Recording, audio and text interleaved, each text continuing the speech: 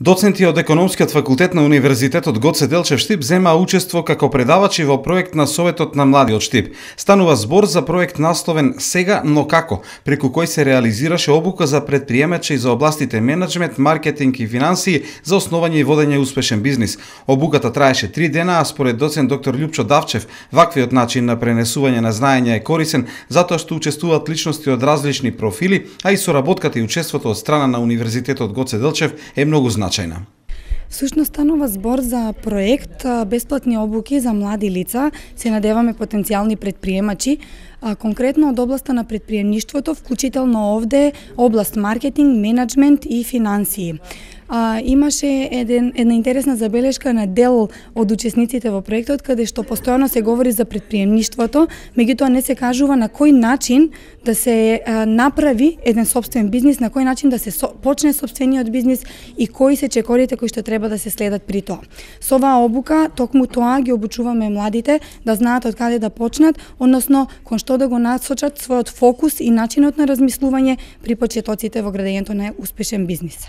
Каде сме ние во овој поглед во споредба да направиме со некои соседни држави или со тој толку нарекуван и посакуван Запад?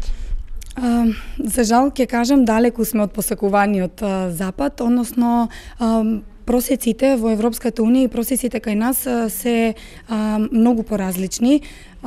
Конкретно еве да речеме затворањето на бизнис во првите три години од постоењето, кај нас тој процент е околу 30, додека во Европската Унија е 7% со тенденција за намалување на истиот.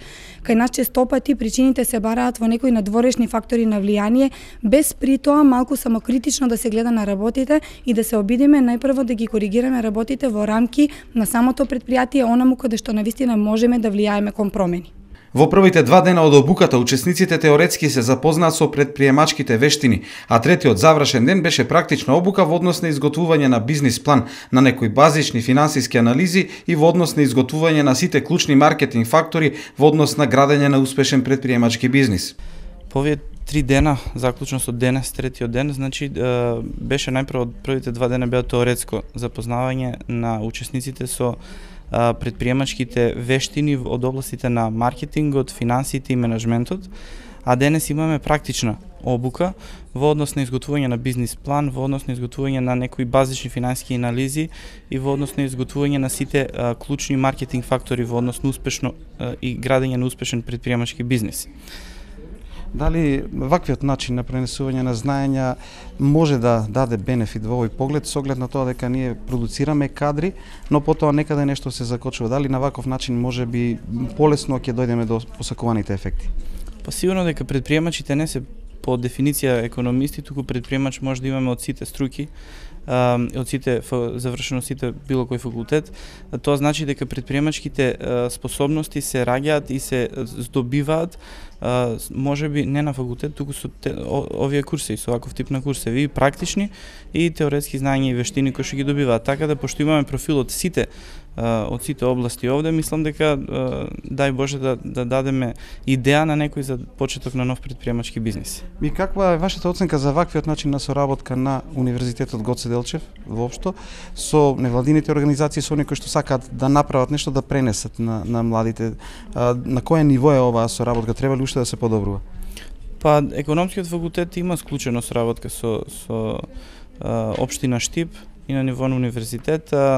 Ова е втор тип на ваков обуки. Имавме еден тип на обуки кој што траеше месец дена а, поеднаш во неделата, кој што се два месеци поточно траеше, а, кој што беше директно под покровителство на општина Штип, а сега е а, соработка со Советот на млади како дел од општина Штип.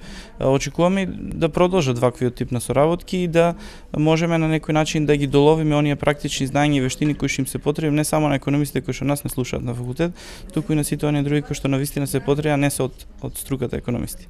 Според раководителот на проектот Ана Љуботенска, интересот за проектот дава за право да се планираат нови обуки кои сигурно ќе ги има во наредниот период.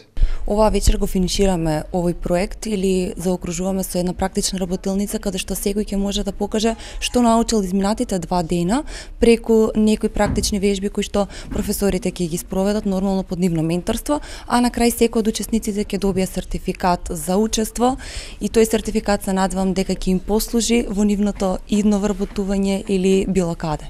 И бидејќи крај на овој проект, веќе веројатно се размислува за следен. Кога можеме да го очекуваме како мала најава? Па здравје, следната година би можеле да размислуваме за нов ваков сличен проект, поради тоа што одзивот беше голем, а бројот на кандидати кои што ги прифативме беше половина од оние кои што пријавија, се пријавија и покажаа интерес. Така што има простор за нови проекти, меѓутоа за тоа ќе разговараме понатаму.